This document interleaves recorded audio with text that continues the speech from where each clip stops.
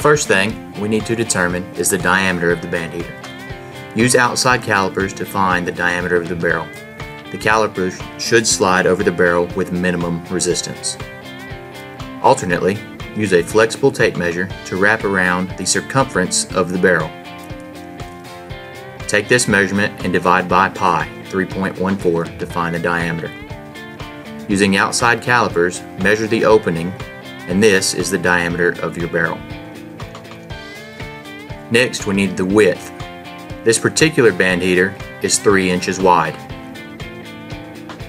Next we will look at the gap. A one-piece band heater will have a gap that is 5 16ths of an inch standard. A two-piece band heater will have two gaps. Each will be 3 16ths of an inch standard. Next, we need to find the length of the leads as well as the length of the hose or braid for lead protection.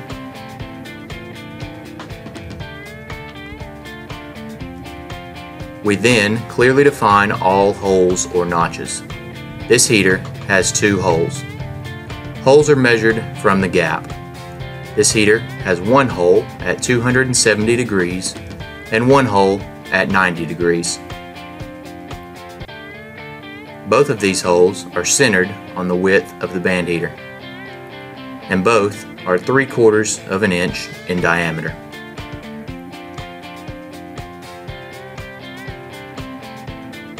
We then need to define the watts and volts.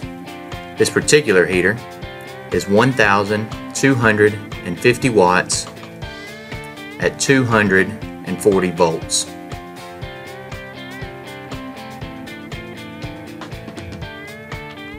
This band heater features a stainless steel outer sheath with incorporated straps.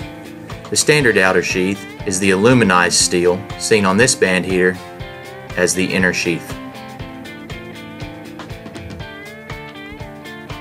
Thank you for watching this video.